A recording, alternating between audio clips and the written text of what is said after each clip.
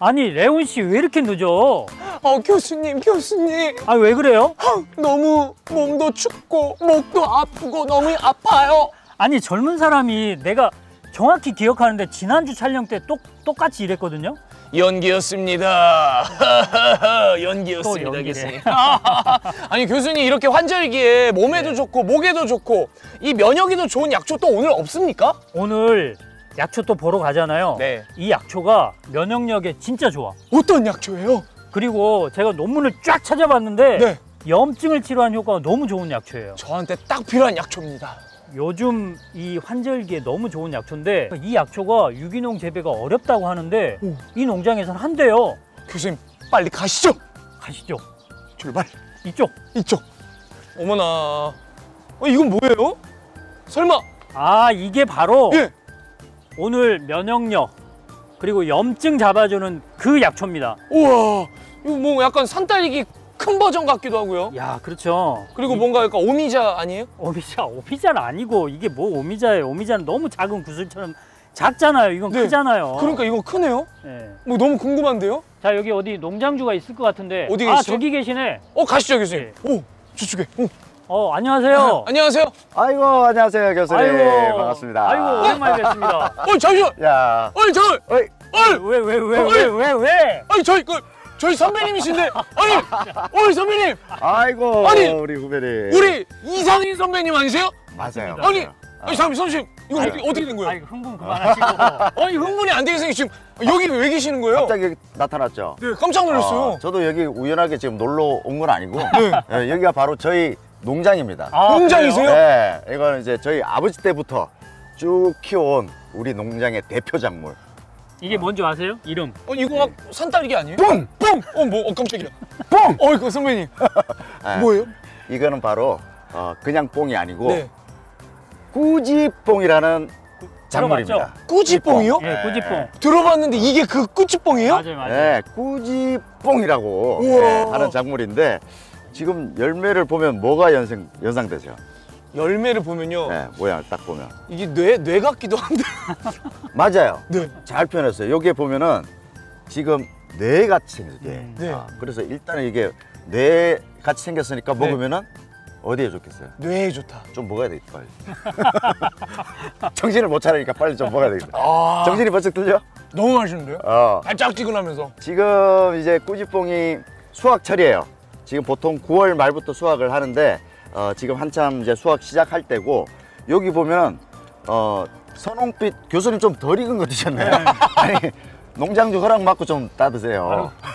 요즘 막 드시나요 요즘 제가 주는 거 드세요. 아, 어떤 걸 먹어야 되죠? 지금 여기서 선홍빛보다 네. 좀더 짙은 빨간색, 조금 어두운 빨간색이 다 익은 겁니다. 아, 어, 야. 그래서 지금 한참 이런 이런 거. 예 맞아요. 음. 요런 게 다 익은 거예요.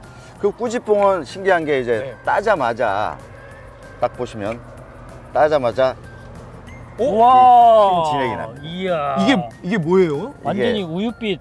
이게 흰 피를 흘리고 있죠. 어, 요 흰 진액 때문에 꾸지뽕은 병충해가 없습니다. 아. 어, 새 말고는 어. 벌레가 먹지 않아요. 어. 신기하죠. 그래서 아까 제가 유기농 재배한다고 네. 그랬잖아요. 맞아요 이거, 이거 재배하기 어렵죠. 유기농이요? 예. 꾸지뽕이 작물 중에 유기농 재배가 가장 쉬운 작물입니다. 아니 교수님 야, 진짜? 교수님 전문가 아니에요? 쉬워요. 교수님 누가 전문가예요 지금? 아니 나는 농사를 지어본 사람이 맞아요 하긴 그래요 교수님은 약초 전문가시지? 네. 아, 요 나무 전문가. 그렇죠 나무 전문가는 아니죠 그 근데 선배님하고 교수님은 어떻게 아시는 거예요? 저는 너무 궁금한 게 아. 무슨 인연 때문에 저희가 저도 왜 밀양으로 오라고 해가지고 네. 왜 이렇게 멀리까지 오라고 했나 봤더니 이런 인연이 있었는데 왜? 아, 우리는 친해요. 어 그래요? 네. 아, 저만 안 친한 거였어요. 우리는 제가 연예인 중에 네. 유독 친한 분이에요. 맞아요.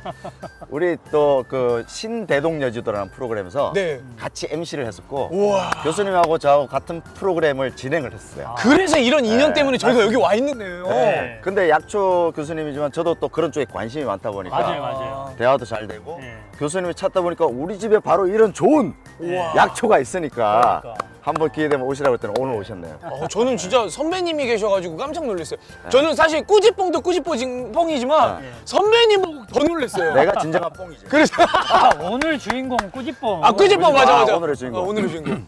근데 꾸지뽕 논문들이 일관되게 아주 일관되게 염증을 치료하는 효능이 있다는 음. 게 증명이 되고 있어요. 아 염증. 어. 염증. 근데 사실 염증이라는 게 되게 중요한 게 우리 뭐 어디 다치거나 하면 염증 생기잖아요. 아 당연하죠 이쪽. 근데 우리 몸 속에는 내가 인식하지 못한 염증들이 많아요. 아 염증이 있는데 나는 모르는 거야. 그렇죠. 근데 그게 그렇게 방치하면 암이 돼요. 아 그래서 염증과 양, 암이 연관이 돼. 있구나. 아주 밀접하게 관계가 있죠. 아하 어. 맞습니다. 그래서 네. 지금 보시다시피 제 몸에는 염증이 하나도 없잖아요. 와! 와 염증이 선배님. 없어 염증이. 어, 이 TV에서만 보던 그 모습을 지금 염증이 없어. 어머나. 옛날 생각나게. 이야.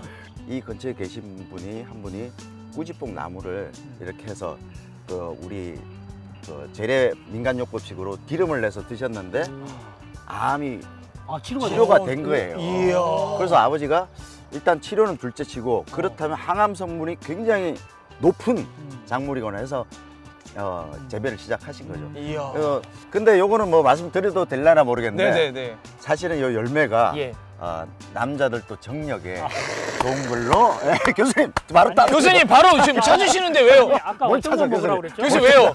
제가 어, 47에 결혼을 해서 우와.